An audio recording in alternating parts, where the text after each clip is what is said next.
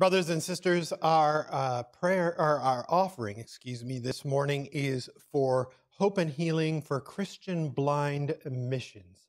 Uh, for those of you who are not aware, you can check out more information in the bulletin about this organization.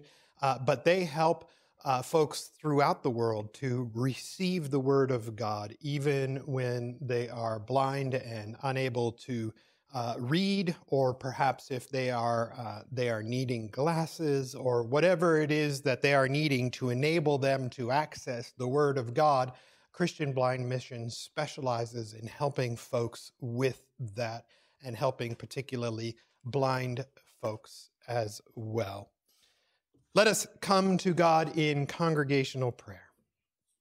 Father in heaven, thank you so much for gathering us together today, uh, wherever we may be. Thank you so much that we can worship you together in spirit and in truth.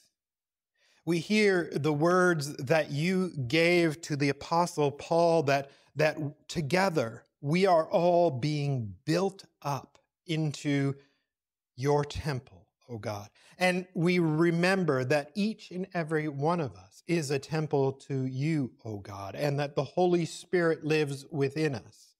And so, Lord, we thank you so much for that. Father, this morning we pray that you will bless the ministries of Christian Blind Mission, that you will bless these, our tithes and offerings, that they would glorify you, that they would be a pleasing aroma to you. Father, we pray as well that you would be with all of those throughout this world who are suffering ailments or who are struggling with disabilities.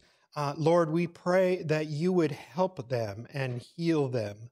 Oh God, we pray that where healing is not your will, that you would enable people to live with the cross that they have received and to do so with joy and perseverance.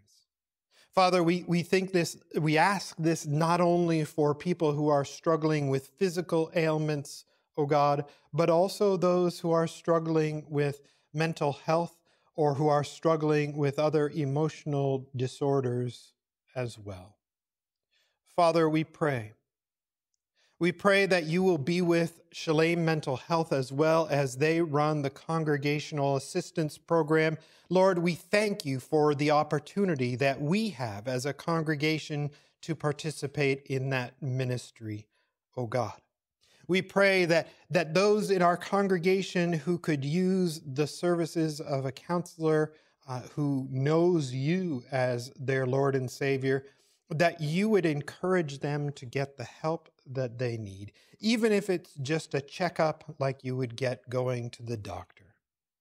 Father, we thank you for uh, all of those throughout this world who have in your name brought healing, past, present, and future. Oh God, this morning we also continue to remember those in our congregation who are struggling with their own health concerns too. Father, we pray that you would bless them and strengthen them, along with their loved ones who are caring for them. Oh God, we pray too that during this season of Lent, that we may be really examining ourselves, understanding not only who you made us to be and who you call us to be, but also the depths of our need for repentance and for your forgiveness. Thank you so much that you offer that forgiveness freely in Jesus Christ. And Lord, may we also freely share your good news with this world. We pray that you would guide us as we come to your scriptures in the message. Thank you so much for the scriptures we have already heard and for the promises we have received from you as well. Lord, guide us that we may live changed lives that honor you more and more each day. We pray this all in Jesus' name. Amen.